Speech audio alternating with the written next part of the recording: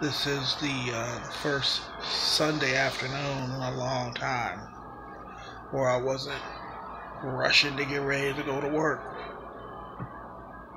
You're noting the lighting is, yeah, there we go. The lighting's better here. I've so far been having a fantastic weekend. I don't feel very productive, but it's cool. It's just hanging out with my wife, kicking it with my kid. I think tonight might be the night that I present them this passion project that I've been working on and really let them let me know what they think of it. That should be fun.